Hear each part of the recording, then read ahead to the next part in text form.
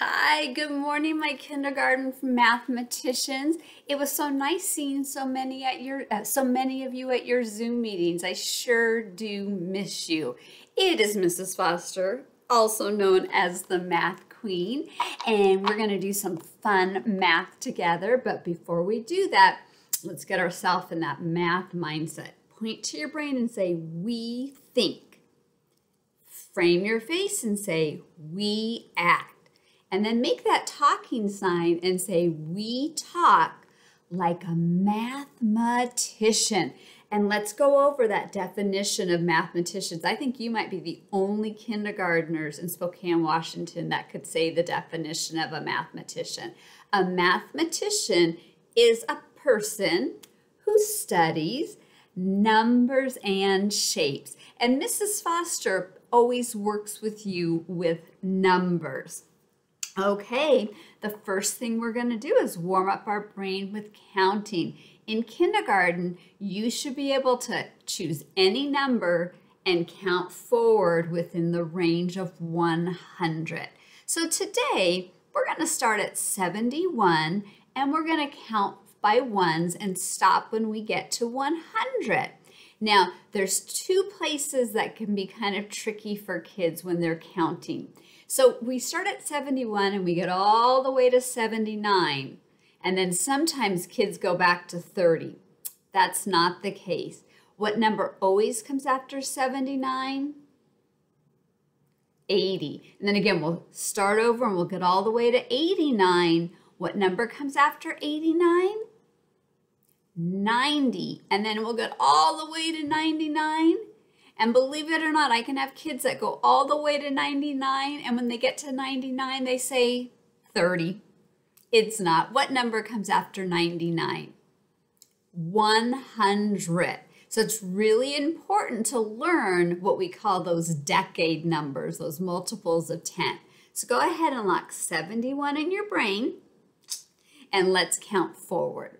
71, 72, 73, 74, 75, 76, 77, 78, 79, 80, and then we start over again. Numbers are very predictable. 81, 82, 83, 84, 85, 86, 87, 88, 89, 90. We're going to start in the 90s.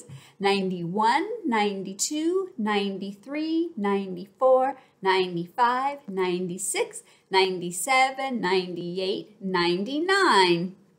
100. And we don't say a hundred. That's not mathematician talk. It's 100. Now, the next thing that we're going to do to warm up our brains is we're also going to count backwards. We're going to start at 20. We're just going to count on back down to zero. So go ahead and lock 20 in your brain. And we're counting down, which is subtracting one from every number as we go. Okay, here we go. 20, 19, 18, 17, 16, 15, 14. Now these next three numbers is where I notice kids get confused, but not my Sheridan Tigers. So we were at 14, 13, 12, 11, and then everybody whips through this next part. 10, 9, 8, 7, 6, 5, 4, 3, 2, 1, 0. Oh, pat, pat, pat, back, back, back. Okay, so Mrs. Foster has some 10 frames. She's going to show you a brief look at it. And these 10 frames have dots on them.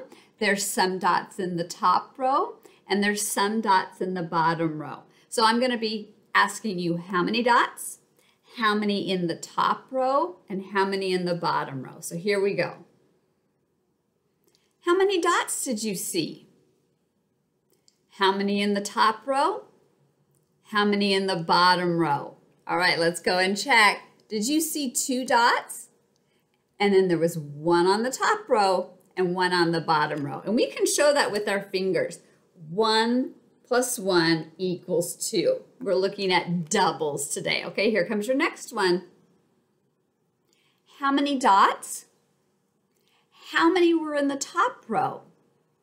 How many were in the bottom row? Okay, so let's look.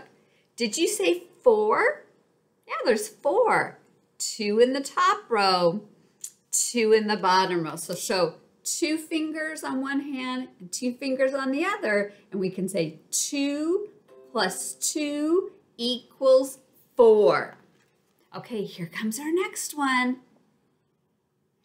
How many dots? How many in the top row? How many in the bottom row?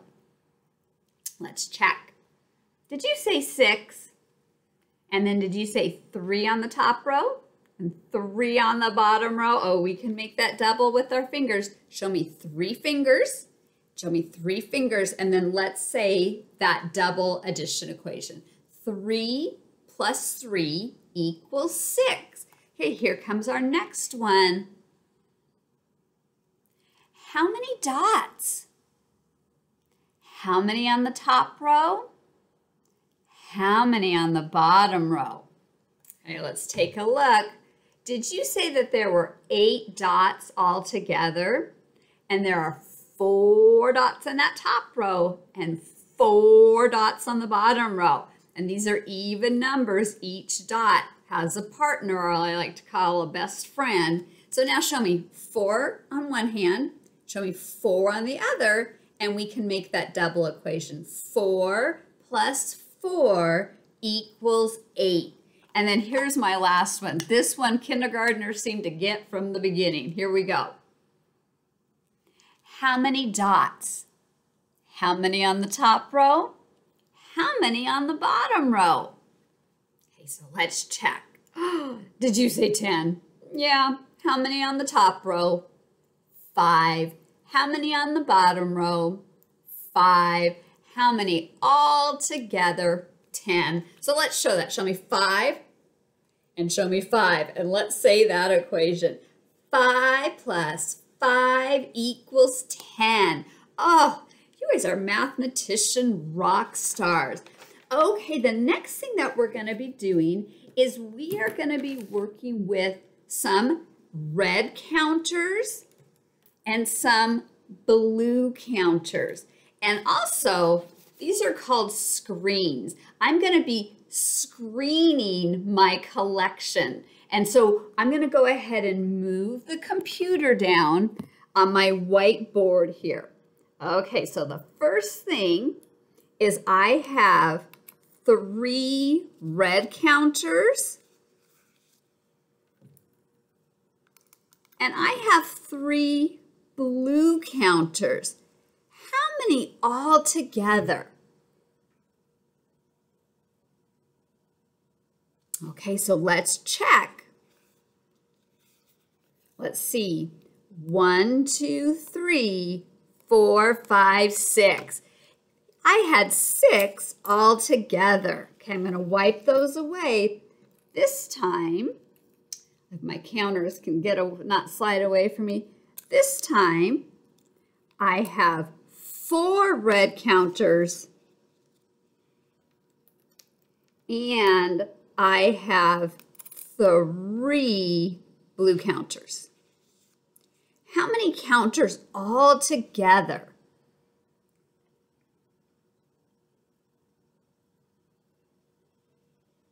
So I had four, one, two, three, four. And then I had three more, one, two, three.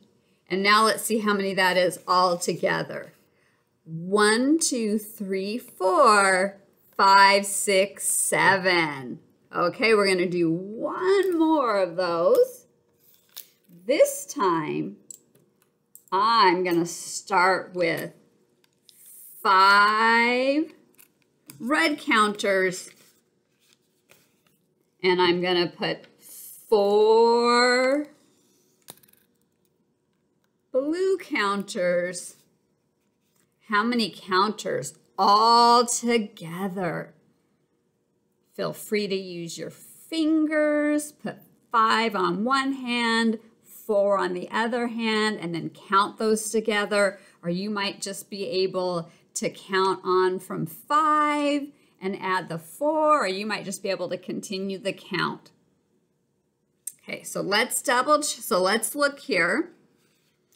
How many did we have all together? One, two, three, four, five, six, seven, eight, nine. We had nine all together. Now I want to show you this cool tool that Mrs. Foster has. It is a magnet. I call it my magic wand. And these happen to be magnetic counters. So all I have to do is sweep it. Isn't that pretty slick? And then I can take my blue counters and put them in my blue baggie that I have. And then I've even got some red counters over on the side and I take my red counters and I put those off. So there we go. That makes it very easy for Mrs. Foster to put her things together. Okay, I'm going to move this back up here. And a game that we're going to play to game is practicing working on subtraction within the number five. And the game that we're going to do is called Kitty Fun Within Five. And I'm going to send this to your teachers and they'll put it on your Clever page, of course.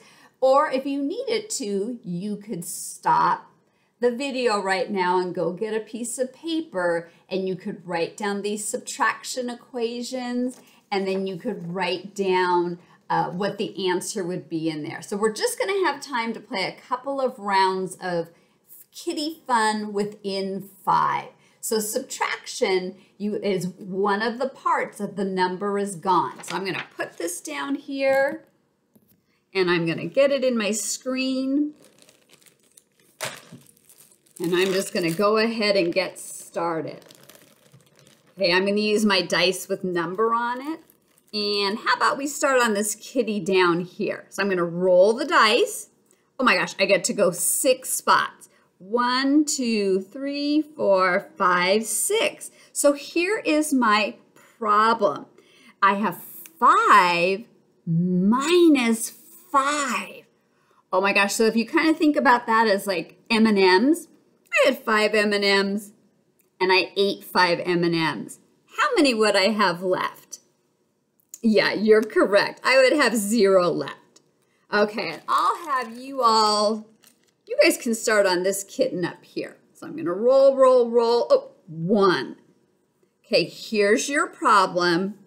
You have five minus zero. Oh my gosh, that is so easy. So like if you have five M&Ms and you don't eat any, how many M&Ms would you have left? You would, you would have five. Nice thinking. I'll go ahead and cover up a five for you. Okay, I think we're gonna just do one more turn for Mrs. Foster and one more turn for you all.